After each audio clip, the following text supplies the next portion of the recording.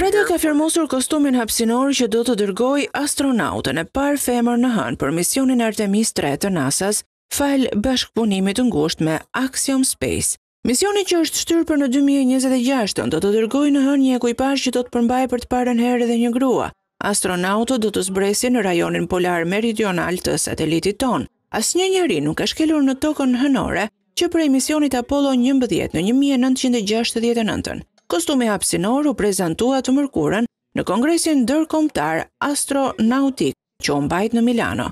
Dizajni i shtresës së jashtme dhe kërkimi i materialeve janë fryti i bashkëpunimit që ka patur në fillim kur dy kompanitë lider në sektorët respektiv vendosën të bashkonin kreativitetin dhe inxhinierinë për të projektuar kostumet e posaçme të gjeneratës së re.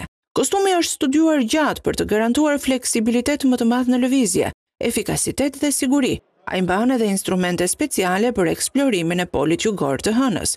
Ai adaptohet në lloje të ndryshme fizionomie të astronautëve dhe është i përshtatshëm kështu si për gra ashtu edhe për burra. Kostumi mund të përballojë temperaturat ekstreme të polit jugor të Hënës dhe klimën e ashpër të rajoneve që janë gjithnjë në errësirë për të paktën dy orë, ndërsa duron për të paktën tetë orë aktivitete jashtë kapsulës hapësinore.